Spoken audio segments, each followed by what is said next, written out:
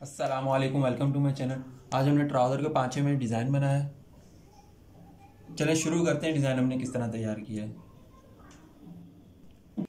अभी हमारे पास कपड़ा मैंने इस पर ज़ीरो की बुकरम लगाई हुई है। ठीक है? ज़ीरो की बुकरम लगी हुई है हमारी। इस कपड़े की चौड़ाई हमारी साढ़े दस इंच आ रही है। ठीक है? और इसकी लंबाई है बाईस इंच। अब इसे यहाँ पे हम एक इंच के गैप छोड़ के इसके पेंटेक्स देंगे। पहले पेंटेक्स की सिलाई लगा लेंगे।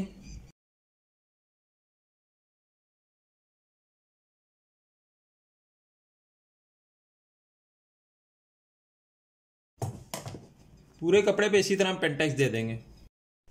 ये मैंने पूरे कपड़े पे पेंटेक्स दे दिए ठीक है? सीधे। देखिए बुकरम में बुकरम पे मैंने इस पर निशान लगाए हुए हैं, कटवर्क के। ठीक है? और ये देखें, यहाँ से हमने, यहाँ से हमारा डबल है बुकरम ये देखें, इस तरह डबल करके, इस साइड से मैंने इसे चार इंच पे तकरीबन निशान लगा लिया, ठीक है? चार इंच पे, और आपका यहाँ से जितना पाँचा हो, आप उसी हिसाब से इसका यहाँ पे निशान लगा लें। सात इंच हमारा पाँच है तो सात इंच पे मैंने इसका निशान लगा लिया। तो इसे इस तरह बिल्कुल सीधा नहीं लिया मैंने, सीधा निशान नहीं लगाया, इस तरह थोड़ा सा शेप में आ रहा है, ठीक है? तो आप कोई भी कटवर्क इस इस तरह से आप नोक भी बना सकते हैं, गोल भी कर सकते हैं, मर्ज़ी आपकी, जिस तरह करना चाहें, ठीक है? अब इसकी कटिंग कर लेंगे हम। ये मैंने कटिंग कर दी इसकी कटवर्क की, उसके बाद मैंने इसे कपड़े पे चिपका लिया, ठीक है? और ऊपर वाली साइड से भी मैंने इसे कपड़े को मोड़ के प्रेस कर लिया। अब देखिए, हमने इसकी कटिंग करनी है। अब हमने जो ट्राउज़र कटिंग किया ट्राउज़र हमने सात इंच छोटा कटिंग किया है। जैसे कि एक मिसाल है, हमें जो है ना, सैंतीस इंच हमारा ट्राउज़र तैयार चाहिए था, ठीक है? तो हमने उसके तीस इंच पे कटिंग की है। सात इंच की हमने ये वाली पट्टी लगानी है इसकी, ठीक है? तो इसे इस तरह डबल कर लेंगे।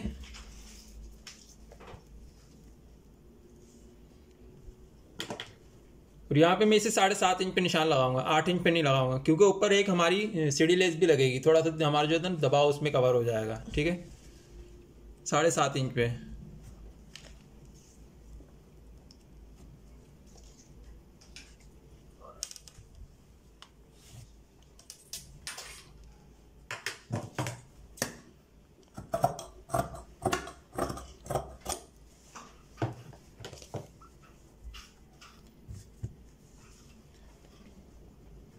इसे हम यहाँ पे इस तरह रख लेंगे। यहाँ से हम इसे बराबर रखेंगे। यहाँ पे नीचे हम इसे आधे इंच का दवा छोड़ेंगे कटवर्क से ऊपर रखेंगे आधे इंच, ठीक है? इसे यहाँ पे सिलाई लगा लेंगे।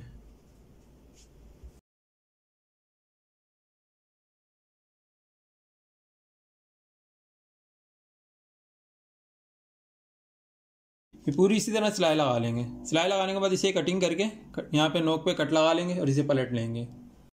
ये देखिए, मैंने पूरी सिलाई लगा के इसकी कटिंग करके पलट लिया। ठीक है? पलटने के बाद मैंने इसे तुरपाई भी कर दिया यहाँ पे।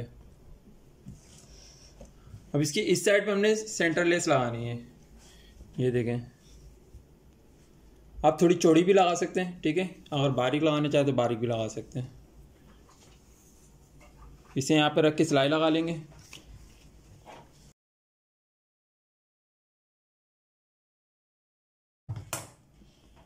ये हमने लगा ली, ठीक है? अब इसे ट्राउज़र के साथ जोड़ लेंगे।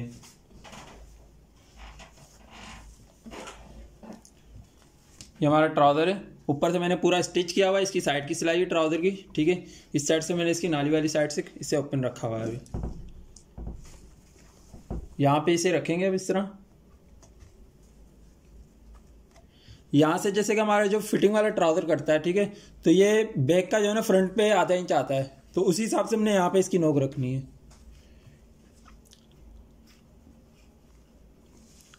यहाँ पे इसे सिलाई लगा लेंगे। ये देखिए मैंने लेस लगा ली। इसे यहाँ पे इस तरह डबल करके यहाँ से हम इसे सिलाई लगा लेंगे। ये देखिए मैंने नाली की सिलाई लगा ली ठीक है? उसके बाद ये लुक आ, लुक आ रहा हमारे ट्राउज़र का। हमारा ट्राउज़र तैयार हो गया